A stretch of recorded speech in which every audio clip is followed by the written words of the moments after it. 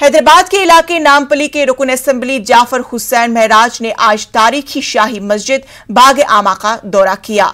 माह रमज़ान की आमद के पेश नज़र उन्होंने मस्जिद में लगाए गए आरजी शट और दीगर तैयारियों से मुतालिक मालूम हासिल की। इस मौके पर रेड हिल्स के नुमाइंदे कॉरपोरेटर आरिफ रिजवान के अलावा मस्जिद कमेटी के मेंबर्स व दीगर भी मौजूद थे। रुकन असम्बली जाफ़र हुसैन महराज ने कोरोना की गाइडलाइंस पर अमल करने की नमाजियों से अपील की है।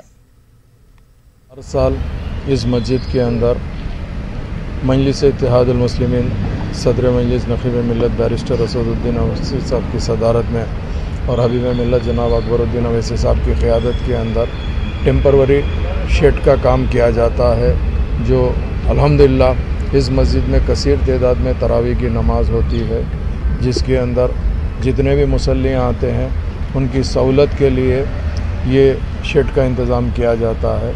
और एयर कूलर्स भी लगाए जाते हैं। ये जो शेड अब जो मौजूदा डाला जा रहा है, जिसके इंस्पेक्शन के लिए मैं और मुकामी नुमाइंदा कारपेटर जनाब आरिफ रिजवान साहब आए हैं। ये दस लाख चालीस हज़ार रुपये का टेंडर है।